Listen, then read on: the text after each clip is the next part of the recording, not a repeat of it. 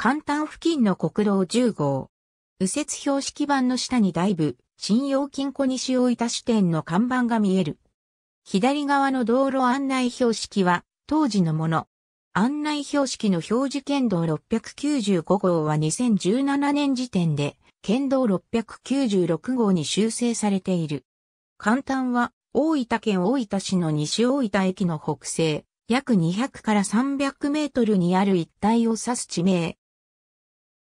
住居表示上では、小石港町2丁目の一部となっているが、簡単地区という通称も用いられている。簡単の漢字表記は、であり、簡単ではない。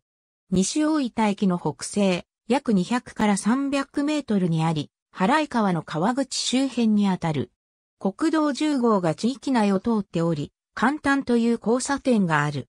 この地区を含む原井川河口及び流域の一帯は、古くから現行地名と同じく、小石と呼ばれた。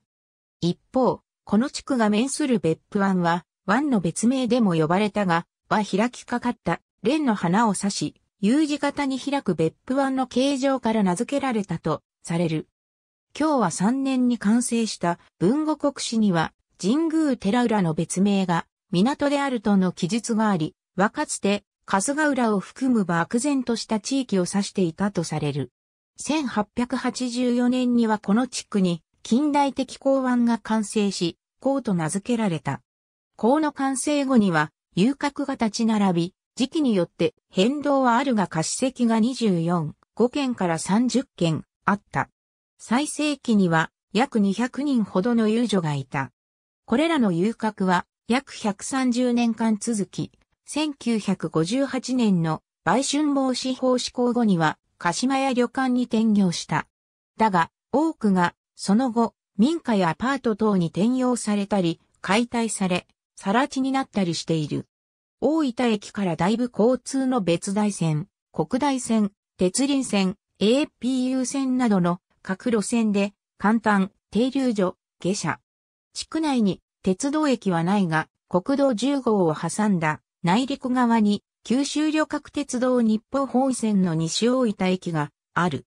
簡単には、かつてだいぶ交通別大線の簡単停留所が存在していたが、別大線の廃止に伴い1972年4月5日に廃止された。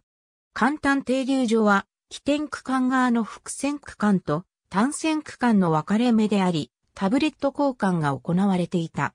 現在は路線バスによる運行が行われており、上述の別大線、国大線、鉄輪線で、おおむね20分間隔で運行されている。ありがとうございます。